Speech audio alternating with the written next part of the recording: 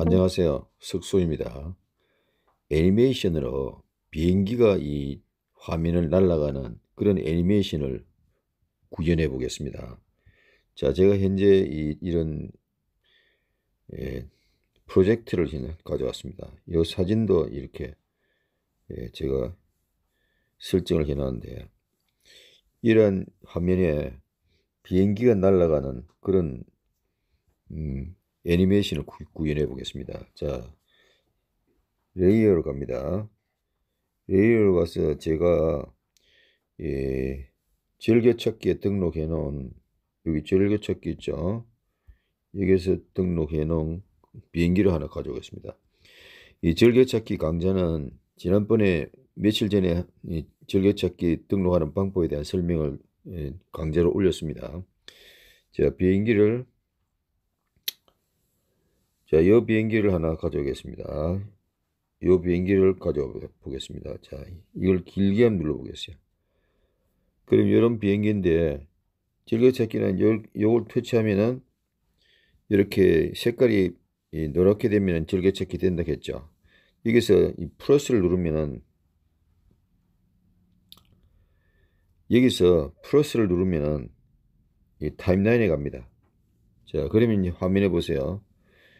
예, 비행기가 왔습니다. 이런 비행기는 이런 비행기 사진은 구글이나 네이버 같은 데서 예, 검색해서 구할 수 있습니다. 거기에서 구하시기 바랍니다. 자, 이 크기를 비행기를 줄여 가지고 이 비행기가 여기서 이렇게 날아가게 그렇게 한번 설정해 보겠습니다. 자, 이렇게 우선 이 비행기를 터치를 해서 이렇게 여기서 이렇게 터치를 해서 선택을 합니다. 선택을 한 다음에 화면에서 비행기를 출발점에 갖다 놨습니다. 자, 화면을 보세요. 출발점에 갖다 놨어요. 비행기의 크기도 적당히 조절합니다. 이렇게 해놓고 출발점에 이렇게 갖다 놨습니다. 완전히 뒤로 가버리면 비행기를 다시 끄집어낼 수 없겠죠. 그래서 약간 걸리게 이렇게 합니다. 그런 다음에 비행기 이렇게 갖다 놓은 다음에 이거 애니메이션 있죠. 이게 애니메이션 아이콘입니다. 이걸 터치합니다.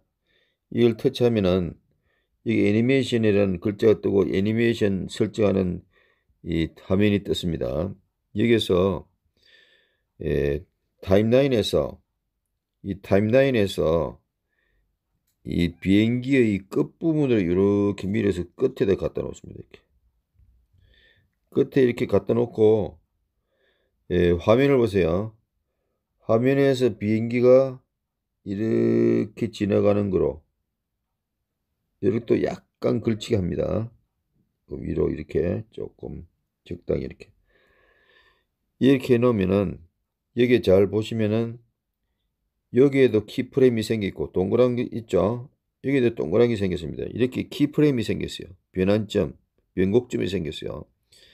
그래서 에, 예, 같이 그 애니메이션이 설정이 됩니다. 그리고 나서 이 V를 터치합니다. 이 V는 저장입니다. 자, 그러면 플레이 한번 해볼게요. 플레이 하면은 비행기가 화면에 보세요. 이렇게 날아가죠. 이렇게 날아갑니다. 이 비행기를 더 빨리 날아가게 하려면 이 타임라인 보세요. 타임라인에 지금 제가 움직이고 있죠. 이것을 짧게 하면은 빨리 날아갑니다. 자, 보세요. 굉장히 빨리 날아가죠. 이렇게 날아갑니다. 이렇게 짧게 하면 물론 길게 이렇게 하면 이것을 길게 하면 천천히 날아갑니다. 이게 자 천천히 한번 날아가는 거 보세요. 이렇게 타임라인에서 비행기의 그 크립의 길이를 조정해서 속도를 조절합니다. 자, 그러면 이렇게 빨리 날아가는 하고 자 빨리 날아가는 걸 하고 이것을 몇 대씩 여러 대씩 막 지나가게 하려면은 에, 이걸 요걸 터치한 다음에 요 부분 있죠. 요 부분을 터치합니다. 그래서 복제를 합니다. 자, 터치해서 제일 위에 보면 복제가 있죠. 복제를 터치합니다. 그리고 그리고 화면을 보세요. 아, 타임라인을 보세요. 타임라인에 보면은 이렇게 두 개가 생겼죠. 그래서 그 중에 하나를 선택해서 약간 앞으로 요걸 약간 앞으로 이렇게 올 합니다. 서로 겹치지 않게. 그리고 플레이 한번 해볼게요. 한 대 지나가고 뒤따라가죠. 이렇게. 이렇게 뒤따라가게 할 수 있어요. 자, 그런 다음에, 그 다음에는 비행기가 보세요. 이 비행기 사진은 이렇게 정해져 있는데, 왼쪽에서 오른쪽으로 가죠. 이걸 오른쪽에서 왼쪽으로 가게 하려면 어떻게 하느냐 하면은, 자, 비행기 레이어를 갑니다. 레이어의 절개, 미디어에 가서 즐겨찾기해서 아까 그 비행기들 하나, 뭐 비슷한 비행기입니다. 이렇게 가져옵니다. 비행기 방향이 이렇게 오른쪽으로 향하고 있죠. 이것을 왼쪽으로 향하게 해서 날아가게 하는 방법을 지금 설명드리려고 합니다. 이 비행기가 선택된 상태에서 여기 있죠. 요 아이콘을 터치합니다. 이 아이콘을 터치해 보면은 회전 미러링이라고 되어 있죠. 회전 미러링. 이걸 비행기로 회전을 시킵니다. 요거는 좌우죠. 이건 상하.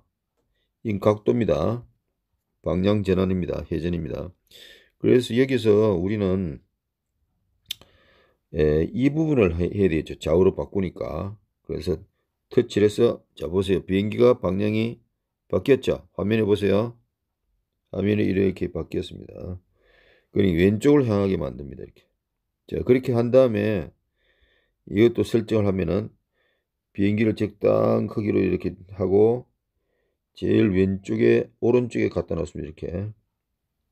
이렇게 갖다 놓고 그 다음에 애니메이션 이 아이콘 누르라고 했죠. 그래서 애니메이션 아이콘을 누릅니다. 그러면 애니메이션이 여기 생겼죠. 생긴 다음에 이것을 기, 이 타임라인에서 이 타임라인에서 이 편집선 있죠. editor line 이거 뭐 재생 헤드라고 하기도 하고 저기 저 play head 혹은 편집선 여러 가지 표현을 합니다. 자 이것을 갖다 놓고 그 다음에는 화면에서 비행기를 이렇게 이동시킵니다. 이렇게 이동시켜요. 이렇게 이렇게 해서 저장을 합니다. 저 위에 오른쪽에 상단에 저장했죠. 저장 아이콘입니다. 이게 이걸 터치합니다.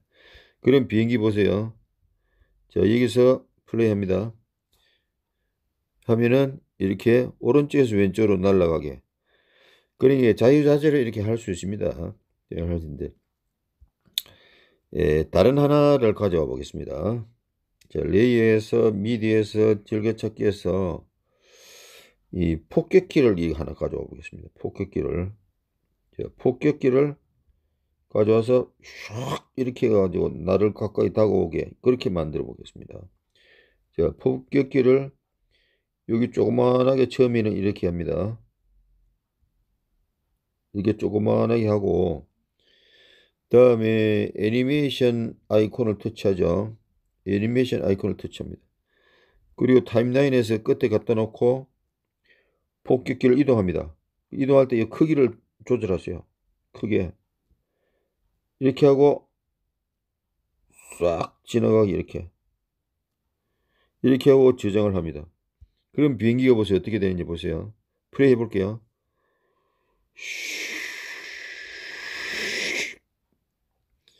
이렇게 비행기가 가게 됩니다. 이걸 더, 더 짧게 하면은 빠르게 비행기가 지나가겠죠.